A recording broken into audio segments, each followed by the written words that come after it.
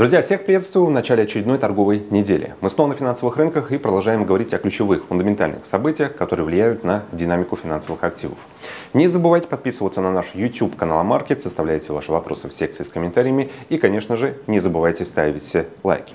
Поскольку сегодня понедельник, то мы проведем традиционный для этого дня вебинар «Правильный понедельник». И тему этого вебинара я традиционно предлагаю определить вам. В нашем телеграм-канале мы запустим голосование, предложим несколько тематик по совершенно разным финансовым инструментам на выбор. Та тема, которая наберет больше всего ваших голосов, станет э, основной в ходе моего предстоящего выступления. Ну что ж, друзья, эта неделя, вкратце, какие отчеты нас ожидают? Сегодня снова будет много европейской статистики, в частности, ждем производственные заказы Германии, индекс активности в сфере э, услуг и э, строительстве. Ну, честно говоря, эти релизы, на мой взгляд, уже не смогут оказать значительного влияния на евро, потому что самую значимую статистику мы разобрали с вами за последние две торговые недели, поэтому сейчас на рынке будет относительное затишье. Во вторник нас ожидают данные по торговому балансу Китая. Вот этот релиз очень важный, потому что китайская статистика и в целом Китай формирует рыночное настроение. И на этой неделе у нас как раз будет возможность несколько переосмыслить наше отношение к риску на основании вот этих вот данных по торговому балансу, а также еще индексу потребительских цен Китая, который выйдет в четверг. В среду состоится выступление главы американского регулятора Джерома Паула. Это, скорее всего, будут простые уточнения того, что им было уже озвучено во время заседания американского регулятора неделю назад, но все равно, думаю, какую-то лепту он в движение доллара э, внесет. И в пятницу блок британской статистики, темпа экономического роста ВВП и промышленное производство. Надеюсь, что эта статистика сможет все-таки вернуть на рынок эм, продавцов, потому что общий фундаментальный фон из Англии остается крайне пессимистичный. И э, я все-таки полагаю, что в определенный момент времени продавцы, которые сейчас где-то все-таки есть э, отношения в УМТАС, могут оказать достойное сопротивление американскому доллару и э, в любом случае перевесить тот э, фонд, который сейчас сложился для американской экономики. Давайте вкратце побежимся по основным нашим торговым рекомендациям. Индекс доллара 104.85. Удивительно острая реакция э, доллара на выход данных по Non-Farm Payrolls. Такое ощущение, что в пятницу мы получили данные, которые разительно отличаются от того, что было заложено рынком и того, что было некоторое время назад, ну, скажем, два месяца месяца назад, чтобы сопоставлять эти показатели. Ну, я думаю, вы все смотрели экономический календарь. Конечно же, таких э, разительных отличий, чтобы можно было объяснить такие мощные движения доллара, их не было. По факту нон-фармов э, общее количество новых рабочих мест, созданных вне сельскохозяйственного сектора, 150 тысяч. Прогноз был 180 тысяч. Уровень безработицы вырос с 3,8 до 3,9%.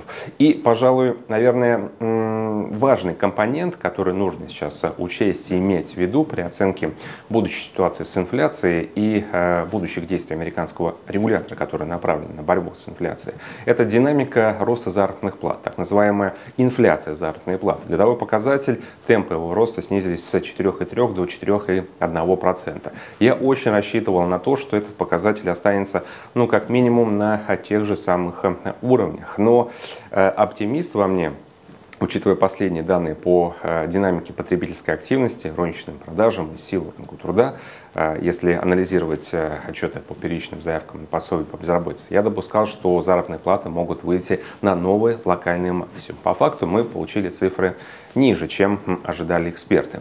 Достаточно ли эта статистика, чтобы оправдать резкое снижение курса американского доллара? Да нет, конечно друзья, потому что, опять же, те данные, которые мы получили, это не э, статистика, которая указывает на то, что рынок труда полетел в пропасть США. И, соответственно, Федрезерв сейчас внеплановое заседание, все мы заканчиваем с ужесточением денежно-кредитной политики. Этого не произойдет. Рынок труда остается довольно стабильным, и до конца этого года у нас будет еще один отчет по нон-фармам, еще два релиза по инфляции. Поэтому на основании одного релиза, который несколько выбился из той тенденции, к которой мы привыкли в последнее время, сейчас не стоит делать выводы о том, что э, дни э, роста доллара сочтены. Это не так. Если в целом даже вернуться к новостному фону, я надеюсь, вы следите за общими настроениями и э, видите и определяете для себя несколько вводных, которые должны быть использованы для принятия решения торговли долларом. Общий новостной фон, он остается точно таким же, как он был неделю назад, когда мы наблюдали за восходящей динамикой индекса доллара. Это э, то, что мы обсуждали геополитику, соответственно, риски, спрос на защитные инструменты. Мы говорили о том, что доходность американских облигаций остается на высоких значениях, и они по-прежнему остаются на высоких значениях. Сейчас значение 4,6%.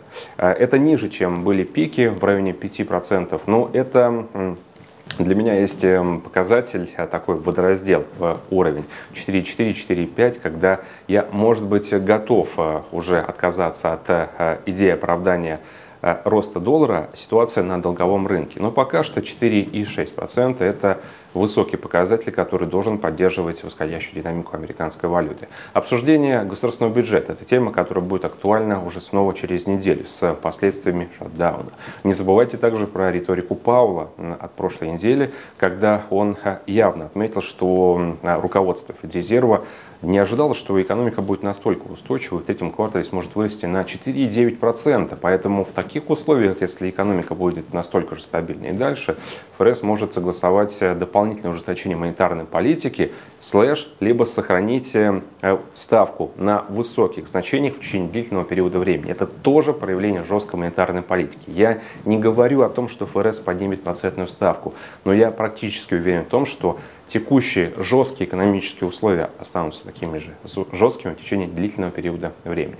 Поэтому в целом предлагаю, раз на этой неделе экономический календарь нас не будет баловать какими-то серьезными фундаментальными отчетами, э, вот этот период э, пяти дней э, спокойных торгов мы еще раз оценим все за и против, посмотрим, как доллар будет вести себя дальше, и на основании вот этих пяти дней в пятницу, думаю, вернемся долгосрочно к оценке перспектив доллара и определим, что делать с американской валютой дальше.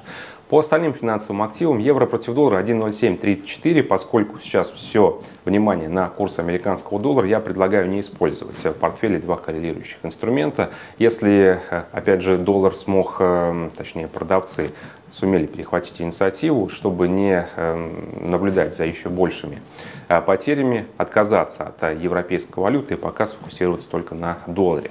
По британскому инструменту я не меняю свой прогноз, то, что фунт должен перейти к снижению, индекс активности в сфере услуг э, плохие. В частности, показатель 49,5 э, находится в зоне стагнации. Композитный индекс, который учитывает промышленность сферу услуг, тоже ниже плинтуса. И ждем в пятницу данные по ВВП и промышленному производству, статистика, которая также должна разочаровать. И я почти э, уверен, то, что фонд все-таки перейдет к развитию нисходящей динамики. По американскому фондовому рынку все, что мы все три недели последние набирали в плане развития вот этого нисходящего тренда, буквально был потерян и компенсирован, нейтрализован, вот так будет лучше сказано, за три торговые сессии.